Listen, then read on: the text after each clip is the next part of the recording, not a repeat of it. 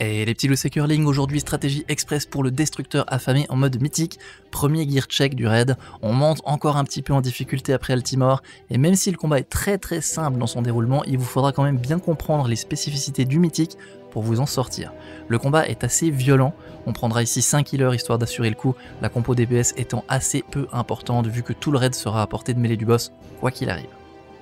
Vous vous demandiez peut-être pourquoi sur ma strat héroïque on plaçait le raid en carré autour du boss et pas autrement, et eh bah ben, c'était justement pour préparer le mythique, puisqu'ici vous n'aurez que 4 miasmes gloutons quoi qu'il arrive. Ce qui se passe ici c'est que quand un joueur se fait sucer par un miasme, il va non seulement transférer ses points de vie, hein, c'est le but, mais il va aussi prendre un debuff qui augmente les dégâts du prochain suçage de 10% et ça se stack à l'infini. Ça veut dire que vous ne pourrez pas bêtement vous paquer sur les 4 joueurs touchés et ne pas bouger, mais qu'il faudra uniquement vous mettre dedans quand c'est nécessaire pour remonter la barre de vie du joueur, et faire des pauses ensuite sans y aller pour perdre le debuff. Ça paraît tout simple, mais ça ajoute une complexité très sympa au combat et ça donne un rythme assez précis à suivre. Vous aurez aussi 4 expulsions instables au lieu de 3, ce qui garantit des conflits au niveau du positionnement, mais c'est probablement le truc le plus simple à gérer. Une fois que vous arrivez là, vous savez comment faire, donc il n'y a vraiment, vraiment pas de souci.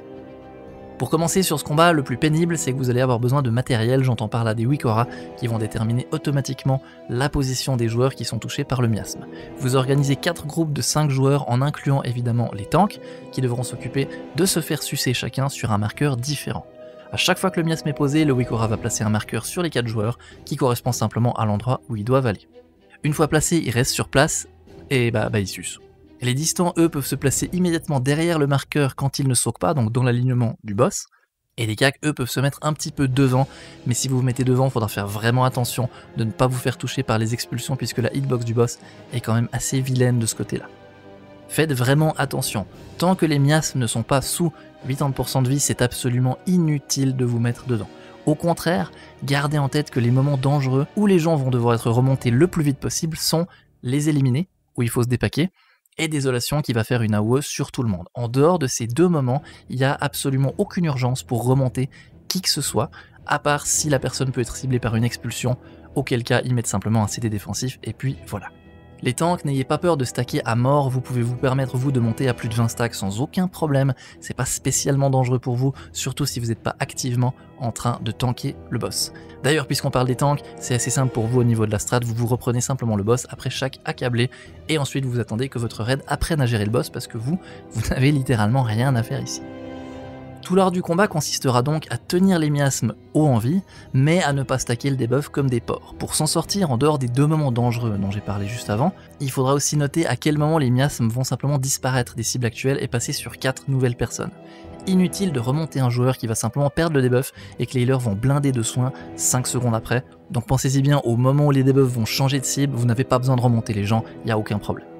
Quand le boss va lancer consommer, pensez au niveau des tanks à l'éloigner au maximum du point de pack du raid, histoire de réduire les dégâts qu'il va nous faire. À ce moment-là, vous avez les 4 joueurs qui sont touchés par le mias qui vont le garder pendant toute la séquence AOE. Eux vont prendre hyper hyper cher, et pour gérer ça au mieux, eux partent un petit peu avant tout le raid pour se placer derrière en arc de cercle, avec ensuite un totem de lien spirituel par exemple qui est posé sur le raid et qui permet à tout le monde de partager sa vie avec eux sans avoir à stacker puisque le raid est packé au milieu et que les 4 joueurs sont sur le bord. Chaque consommé, c'est l'occasion de déstacker le debuff sur le raid entier, donc profitez-en et n'oubliez pas que juste à la fin, il va reposer des miasmes, donc écartez-vous les uns des autres au maximum juste avant que la WOS termine, sinon vous allez restacker comme des porcs avant même que la phase reprenne et là vous serez vraiment embêté. Niveau Wikora, vous avez aussi tout ce qu'il faut ici, regardez bien la description de la vidéo pour voir la liste, c'est vraiment le genre de combat où les add-ons font les trois quarts du boulot et votre compréhension des séquences le quart restant. Pour nous, ça a été super, super pénible de régler le Wikora, donc je peux pas vous garantir que vous n'aurez pas des problèmes similaires, mais ça vous aide tellement une fois que ça c'est réglé que franchement, c'est le must.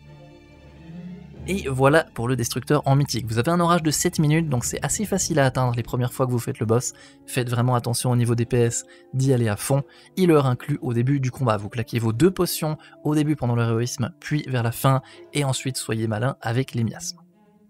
Bon courage à tous en tout cas, et encore désolé du coup pour le retard dans les guides au niveau du mythique, j'ai eu un début d'année extrêmement compliqué, donc on essaie de reprendre ça très très gentiment, et on tâchera d'aller le plus loin possible de toute façon avant le prochain patch.